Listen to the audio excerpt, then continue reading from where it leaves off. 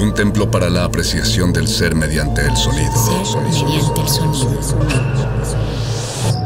Para nosotros, El sol sale durante la noche. nuestros gritos llevan la mesura del silencio. Y el descontento está lleno de baile y risas. A todo, incluso a nosotros, nos resistimos. La Universidad